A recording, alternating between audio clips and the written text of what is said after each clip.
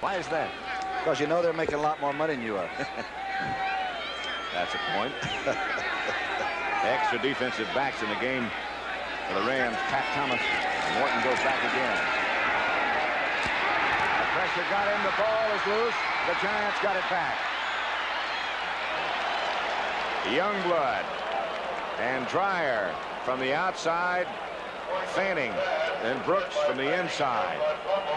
Right over Csonka, the big fullback was kept in to protect. Was the ball coming forward? That's always what they say. Did the quarterback fumble it or was it an incomplete pass? You be the judge.